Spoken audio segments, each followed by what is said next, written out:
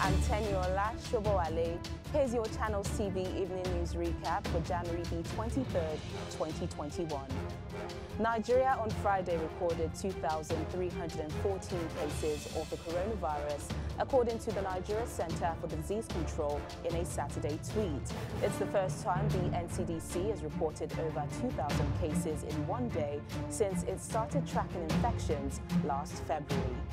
An explosion has occurred at a gas plant Ika South local government area of Delta State.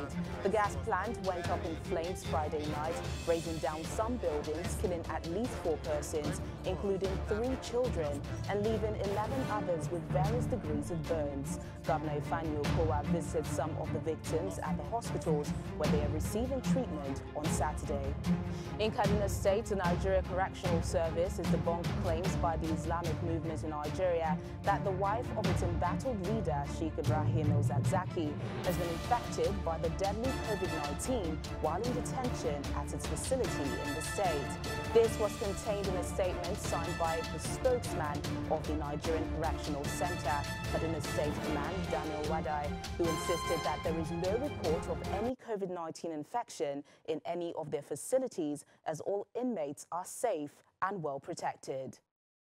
On the international scene, the iconic TV and radio broadcaster Larry King, who interviewed anyone worth interviewing over a career spanning six decades, has died at the age of 87.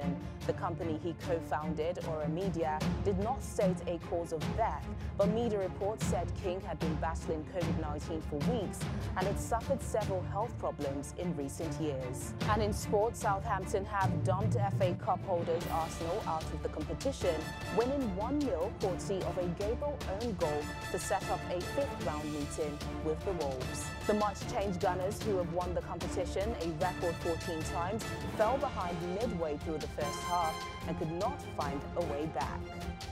And that's the evening news recap. Don't forget to join us tomorrow for fresh updates. I'm Teniola Shobowale. Thank you.